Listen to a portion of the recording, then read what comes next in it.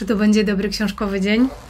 On będzie fantastyczny, bo mam dzisiaj do pokazania książki sensoryczne Zwierzęta na wsi i Zwierzęta w lesie, Akademia Mądrego Dziecka. Będziemy dotykać, dotykać i sprawdzać, ale to nie koniec, bo mam jeszcze do pokazania kolejne części Zabawy Wchowanego. To jest taka seria, którą pewnie część osób zna, bo na blogu Aktywne Czytanie jest recenzja poprzednich książek o właśnie tych.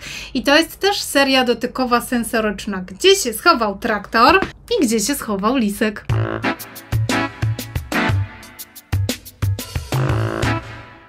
Zobaczcie, jak one tutaj idealnie pasują. Proszę bardzo, zwierzęta na wsi i traktor. Mhm. Nie ma przypadków. Zwierzęta w lesie i lisek, czyli leśne zwierzę. Zaglądamy. Dotykam i zgaduję. Zabawa polega na tym, że no właśnie mamy zgadywanki. Jesteśmy w lesie i tak to wygląda, jak nie otworzymy jeszcze tych wszystkich stron. Najpierw czytamy mr. Wiesz, czyje mruczenie dochodzi z tej jamy? Nie próbuj go głaskać, kiedy go spotkamy. I tutaj mamy takie futerko do pogłaskania i no trzeba się zastanowić, co to jest za zwierzę. Otwieramy i już wiadomo, że to niedźwiedź jest podpisany. Idziemy dalej po tym lesie. Gdzie tu zajrzymy? Teraz spójrz uważnie, któż się tam chowa? Czy to są gałęzie, czy to czyjaś głowa? Trudno to dojrzeć, ale jak się przyjrzymy, proszę bardzo, tutaj jest coś takiego, co można dotknąć. Otwieramy, to jeleń. Fajna zabawa, nie? To teraz od razu zajrzymy do tego liska, który z kolei tutaj ma takie dotykowe elementy i też się chowają różne zwierzaki. Są takie filcowe do otwierania.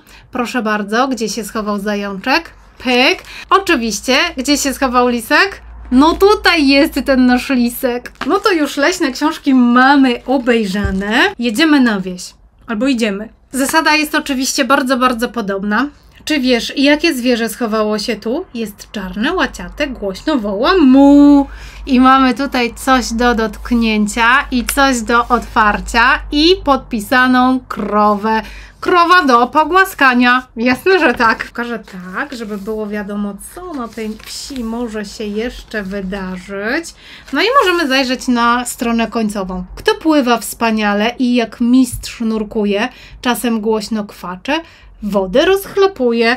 I to jest takie błyszczące do dotknięcia. Otwieramy i to jest skrzydło. To kaczka. Czadzik, nie? I do tego mamy oczywiście, gdzie się schował traktor i zasada podobna z tymi tutaj filcowymi odsłonkami. Gdzie się schował kombajn? Bach, tutaj jest. Gdzie się schował pies pasterski? Proszę bardzo, tutaj jest. A gdzie ty jesteś?